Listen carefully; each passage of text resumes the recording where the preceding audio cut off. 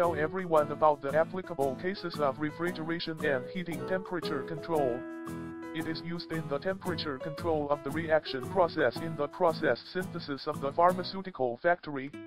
Equipped with stainless steel reactor, intelligent dynamic temperature control. The temperature control accuracy can reach plus or minus 0.5 degrees Celsius. It can be applied to the conditions of small place, many kinds of materials and frequent material change.